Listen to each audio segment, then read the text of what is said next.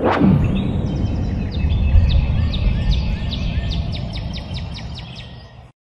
good morning, lovely people. Today I'm not at the lovely place. I'm uh, at our current home that we eventually want to move from and get to the lovely place and build a home down there.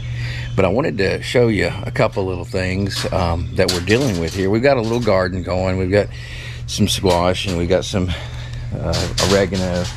That's spaghetti squash. There's some oregano, some more squash, some cabbage. You can see we've had little cabbage worms just eating it up. Is that what that is right there?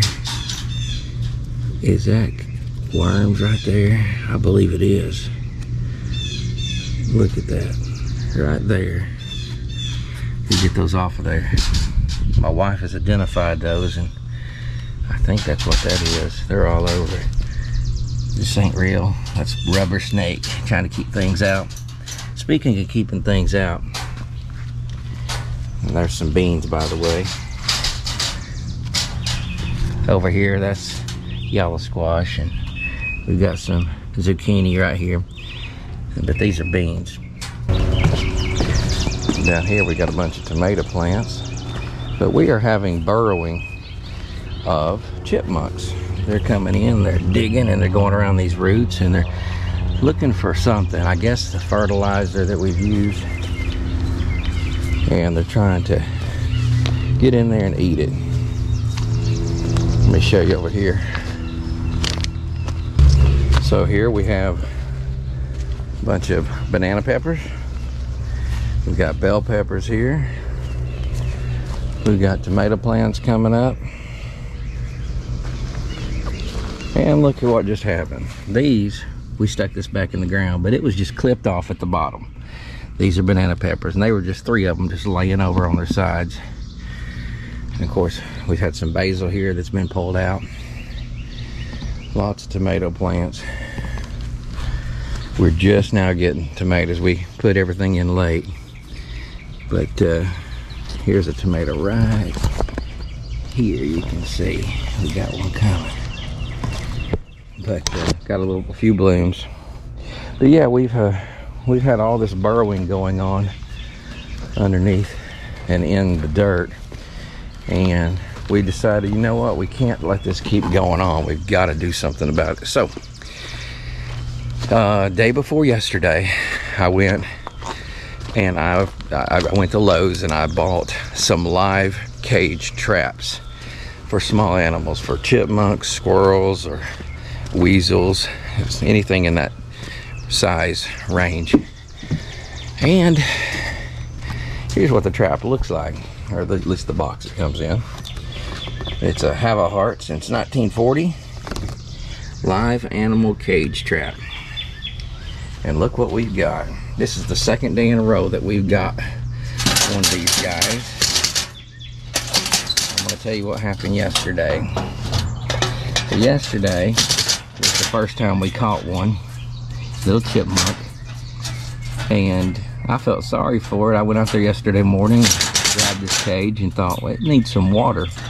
So I took it into the house and I got a little, like a, a cap that goes on a two liter soda bottle and uh, filled it full of water and I tried to stick it through one of these holes and of course it wouldn't fit. So I was inside the house. I set this on one of the tables and I pop this off real slowly and I was going to slide that water cap in there. The moment I did this, this little this little sucker right here just darted through and he landed in the floor of my my kitchen.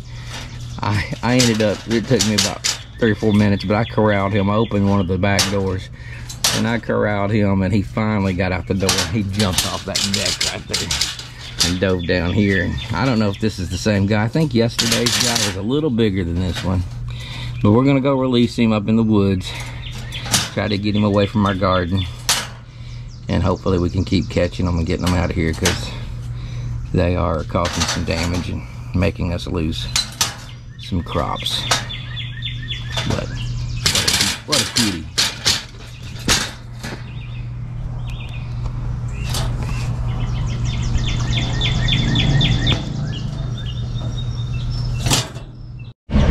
Okay, let's let her go. Let him go, see what happens. Come on.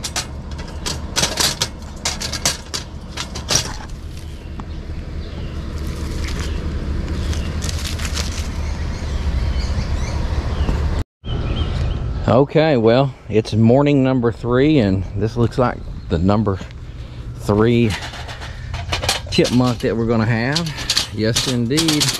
We've got us another one. That's three days in a row. I'm telling you what, we are, we have no shortage of these guys.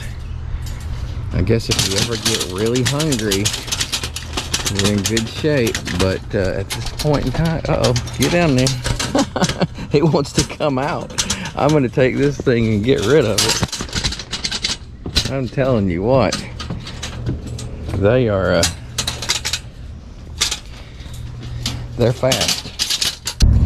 I really like these live traps. Um, it's kind of cool to get them and make sure that no harm comes to them.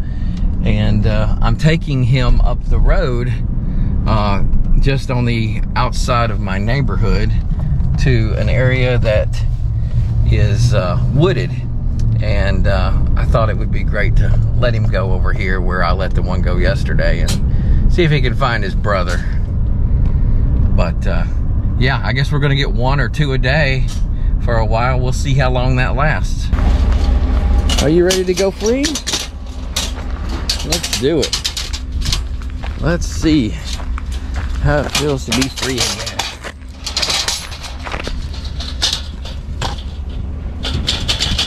Going the wrong way.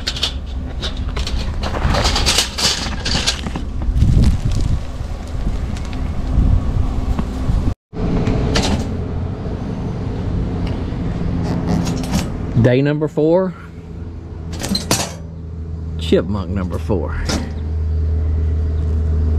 I'm telling you, these live traps are awesome. And you don't have to hurt these babies. You just take them all to one location relocate their whole family and get them out of your garden. It's a win-win. Isn't that right? Makes you want to keep them as pets, though. They're so cute. You're a cutie. Yeah, you are. Alright, let's go release this guy. Say bye. Say thanks for joining us at the lovely place.